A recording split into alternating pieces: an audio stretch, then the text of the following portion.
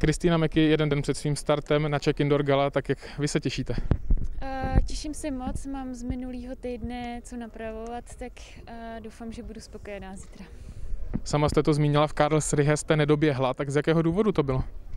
No, v momentě, kdy jsem měla začít zrychlovat, mi tak nějak začalo docházet a zač, začala jsem spíš couvat a v tu chvíli to bylo silnější, než já jsem na sebe naštvaná, tak uh, doufám, že to zítra zlepším.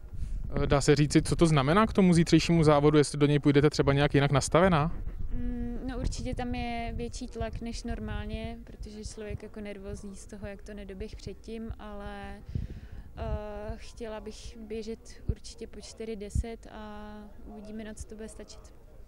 Tušíte, jak rychle se poběží, co se týká ostatních závodníků, od koho nejvíce očekáváte? Závodnic samozřejmě. Uh, je nás tam tuším 8.